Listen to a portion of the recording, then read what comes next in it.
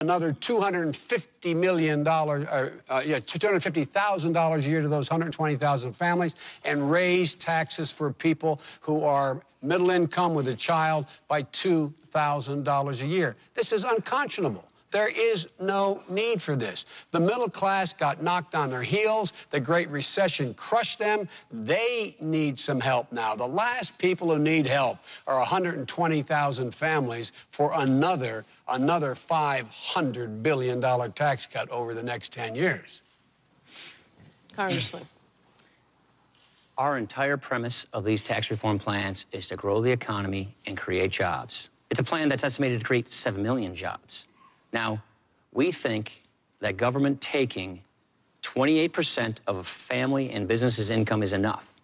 President Obama thinks that the government ought to be able to take as much as 44.8% of a small business's income. Look, if you taxed every person in successful small business making over $250,000 at 100%, it only run the government for 98 days. If everybody who paid income taxes last year, including successful small businesses, doubled their income taxes this year, we'd still have a $300 billion deficit. You see, there aren't enough rich people and small businesses to tax to pay for all their spending. And so the next time you hear them say, don't worry about it, we'll get a few wealthy people to pay their fair share, watch out, middle class, the tax bill is coming to you. That's why we're saying we need fundamental tax reform. Let's take a look at it this way. Eight out of 10 businesses, they file their taxes as individuals, not as corporations. And where I come from overseas, which is Lake Superior, the Canadians, they drop their tax rates to 15%. The average tax rate on businesses in the industrialized world is 25%, and the president wants the top effective tax rate on successful small businesses to go above 40%. Two thirds of our jobs come from small businesses. This one tax would actually tax about 53% of small business income. It's expected to cost us 710,000 jobs. And you know what?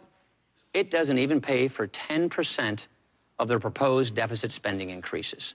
What we are saying is lower tax rates across the board and close loopholes primarily to the higher income people. We have three bottom lines. Don't raise the deficit, don't raise taxes on the middle class, and don't lower the share of income that is borne by the high income earners.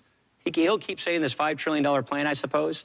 It's been discredited by six other studies, and even their own deputy campaign manager acknowledged that it wasn't correct.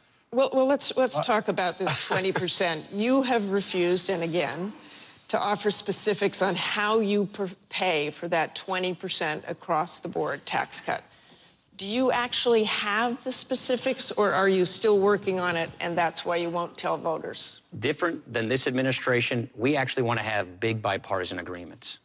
You see, I understand. Do you have not... the specifics? Do you have the math? Do you know exactly what you're Republican doing? Look, Congress. look at what Mitt, look at what Ronald Reagan and Tip O'Neill did they worked together out of a framework to lower tax rates and broaden the base, and they worked together to fix that. What we're saying is here's our framework lower tax rates 20%. We raise about $1.2 trillion through income taxes. We forego about 1.1 trillion in loopholes and deductions. And so what we're saying is deny those loopholes and deductions to higher income taxpayers so that more of their income is taxed which has a broader base of taxation, so we can lower tax rates across the board. Now, here's why I'm saying this. What we're saying is here's I hope I'm going to get time to respond we to this. Want to work I, I, you'll get time. We want to work with Congress on how best to achieve this. That means successful. Look, no specifics again. What we're saying is lower tax rates 20%, start with the wealthy, Work with Congress and to do it. you guarantee this math will add up? Absolutely. Six studies have guaranteed. Six studies have verified that this math adds up. But Vice President Biden. Look, Vice President Biden. Let me translate. Let, let, me have a chance to translate. I'll come back in a second then, right? First of all, I was there when Ronald Reagan tax rates went. He gave specifics of what he was going to cut. No, number one, in terms of tax expenditures. Number two, 97% of the small businesses in America pay less, make less than $250,000. Let me tell you who some of those other small businesses are. Hedge funds that make six, eight hundred million dollars a year. That that's they count as small businesses because they're pass through. Let's look at how sincere they are. Ronald, I mean, excuse me, uh, Governor Romney on 60 Minutes, I guess it was about 10 days ago, was asked, Governor, you pay 14% on $20 million. Someone making $50,000 pays more than that. Do you think that's fair? He said, Oh, yes, that's fair. That's fair. Is, and they're going to talk about, you think these guys are going to go out there and cut those loopholes? The loophole, the biggest loophole they take advantage of is the carried interest loophole and, and capital gains loophole. They exempt that. Now, there's not enough. The reason why the AEI study the American Enterprise Institute study, the Tax Policy Center study. The reason they all say it's going to taxes go up in the middle class, the only way you can find $5 trillion in loopholes is cut the mortgage deduction for middle class people, cut the health care deduction for middle class people, take away their ability to get a tax break to send their kids to college. That's why they arrive. Is he wrong about that? He is wrong about that. There, you can that? you can cut tax rates by 20 percent and still preserve these important preferences for middle class taxpayers. Not mathematically it, possible. It is mathematically possible. It's been done before. It's precisely what we're proposing. It has never been done before. It's been done a couple of times. Actually. It has never. Jack Kennedy lowered tax rates, increased growth. Ronald oh, Reagan. now you're Jack Kennedy. Ronald Reagan.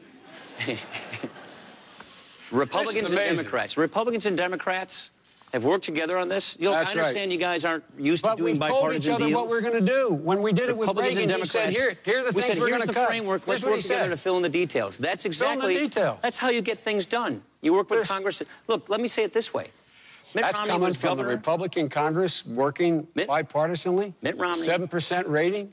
Mitt Romney was governor of Massachusetts, where 87% of the legislators he served with were Democrats. He didn't demonize them. He didn't demagogue them. He met with those party leaders every week. He reached across the aisle. He didn't compromise principles. And you he saw found what common happened. ground, and he balanced the budget. So if he, balanced did such a four great times. job, Vice if he did such a great what- He balanced the budget four times without raising taxes. why isn't he even contesting Massachusetts? Vice Unin- President, That's what would you curious, isn't suggest? What would you suggest beyond raising taxes on the wealthy that would substantially reduce Not the just let deficit? taxes expire like they're supposed to on those millionaires. We don't, we can't afford $800 billion going to people making a minimum of a million dollars. They do not need it, Martha. Those 120,000 families make $8 million a year. Middle class people need the help. Why does my friend cut out the tuition tax credit for them? Why does he go after Can the child Can you child declare care? anything off Why limits? do they Can do you that? declare anything off limits? Yeah, we're saying closed loopholes on high interest people. Home mortgage deduction. for higher income people. Here, Can you This- guarantee that no one this making less than $100,000 have a mortgage, uh, uh, This- mortgage deduction impacted? this taxes Guarantee? a million small businesses. He keeps trying to make you think that it's just some movie star or hedge fund guy or actor. 97% of the small businesses make less than $250,000 a year would not be You know it hits a million. Pe- this taxes a million people, a million small Does it businesses. tax 97% of the It- American it, businesses? taxed a million small, business? businesses who are our greatest job creators. I wish I could get it. The greatest job And you're, creators go- and you're fund going to guys. increase the Think about it defense this way. budget. And you're going to increase the defense No, we're just not going to cut the defense budget like they're. They're You're proposing. increase it $2 billion. That's 2 not trillion accurate. dollars. More We're than talking that. about no, so no massive No, we're saying defense don't. increase. Okay, you want to get into Let- defense now? let- yes, I All do. right. I do. So- because that's another math question. Right. okay. How do you do that? So they proposed a $478 billion cut to defense to begin with. Now we have another $500 billion cut to defense that's lurking on the horizon. They insisted upon that cut being involved in the debt negotiations. Let, let, and so now we let's have a put $1 the automatic cut. defense cuts Right, aside. okay. So Let's we- put like this to go back aside. to No that. one wants Okay. that, but I want to know how you do the math and have this increase in $2 defense trillion. spending. You, you don't cut defense by a trillion dollars. That's what we're talking about. And The- what, the what national trillion- security issues Who's cutting it by a justify an increase? We're going to cut 80,000 soldiers, 20,000 Marines, 120 cargo planes. We're going to push the Joint Strike Fighter down out. We're cutting missile more defense. and one more. if these cuts go through, our Navy will be the smallest it has, it, the smallest it has been since before World War I. This invites weakness. Look, do we believe in peace through strength? You bet we do. And that means you don't impose these devastating cuts on our military. So we're saying don't cut the military by a trillion dollars. Not increase it by a trillion, don't cut it by a trillion dollars. Quickly, Vice President Biden on this. Look, and I want to move on. We don't cut it. And I might add, this so called, I know we don't want to use the fancy word sequester, this automatic cut. That was part of a debt deal that they asked for. And let me tell you what my friend said at a press conference announcing his support of the deal. He said, and I'm paraphrasing, we've been looking for this moment for a long time. Can I tell you what that meant? We've been Why looking for bipartisanship for a long time. And so the bipartisanship is what he voted for the automatic cuts in defense if they didn't act. And beyond that, they asked for another. Look, the military says we need a smaller, leaner army. We need more special forces. We need. We don't need more M1 tanks. What we need is more UAVs. Some of the military. I know that's not you some of the military. That was the decision of the Joint Chiefs of Staff, recommended to us and agreed to by the president. Who answered They're to the a facts. civilian leader? They made the recommendation first. Okay, let's move on to Afghanistan. Uh, can I get into that I'd for a like to move on to Afghanistan, Okay. please. And that's one of the biggest expenditures this country has made in dollars and, more importantly, in lives. We just passed the sad milestone of losing 2,000 U.S. troops there in this war. More than 50 of them were killed this year by the very Afghan forces we are trying to help. Now, we've reached the recruiting goal for Afghan forces. We've degraded Al Qaeda. So tell me, why not leave now? What more can we really accomplish? Is it worth more American lives? We don't want to lose the gains we've gotten. We want to make sure that the Taliban does not come back in and give Al Qaeda a safe haven. We agree with the administration on their 2014 transition. Look, when I think about Afghanistan, I think about the incredible job that our troops have done. You've been there more than the two of us combined. First time I was there in 2002, it was amazing to me what they were facing.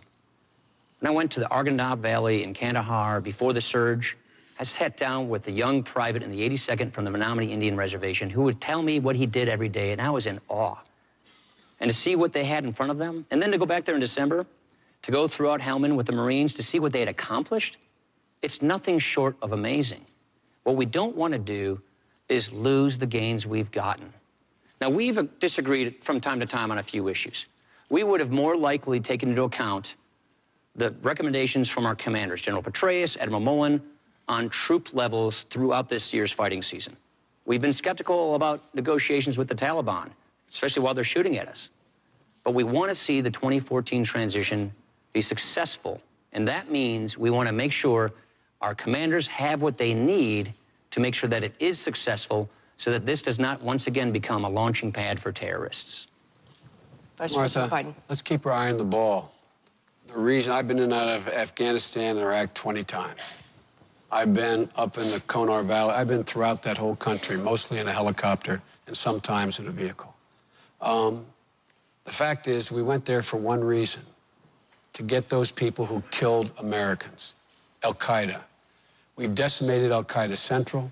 We have eliminated Osama bin Laden. That was our purpose. And in fact, in the meantime, what we said we would do, we would help train the Afghan military. It's their responsibility to take over their own security. That's why, with 50, 49 of our allies in Afghanistan, we've agreed on a gradual drawdown, so we're out of there by the year 20, uh, in the year 2014. My friend and the governor say it's based on conditions, which means it depends. It does not depend for us. It is the responsibility of the Afghans to take care of their own security. We have trained over 315,000, mostly without incident. There have been more than two dozen cases of green on blue where Americans have been killed. If we do not, if the, if the measures the military has taken do not take hold, we will not go on joint patrols. We will not train in the field. We'll only train in the uh, in the army bases that exist there. But we are leaving. We are leaving in 2014. Period. And in the process, we're going to be saving over the next 10 years another $800 billion. dollars. We've been in this war for over a decade. The obje- primary objective is almost completed. Now, all we're doing is putting the Kabul government in a position to be able to maintain their own security. It's their responsibility, not America's. What, what conditions could justify staying, Congressman Ryan? We don't want to stay. We want, look, one of my best friends in Janesville, a reservist, is at a forward operating base in eastern Afghanistan right now. Our wives are best friends, our daughters are best friends. I want, I want him and all of our troops to come home as soon and safely as possible. We want to make sure that 2014 is successful. That's why we want to make sure that we give our commanders what they say they need to make it successful. We don't want to extend beyond 2014. That's the point we're making. You know, if it